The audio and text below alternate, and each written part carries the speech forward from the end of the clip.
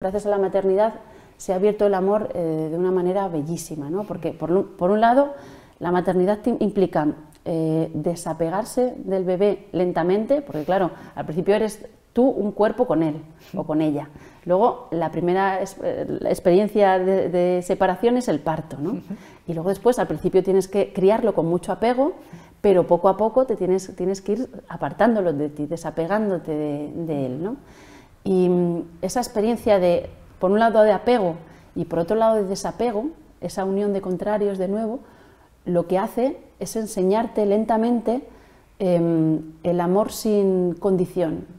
Pero en la medida en que tú haces ese trabajo espiritual, ¿no? de apego y desapego, las dos cosas a la vez, entonces te asomas a un amor que, tiene, que te trae una pureza, aporta una pureza a tu vida radical.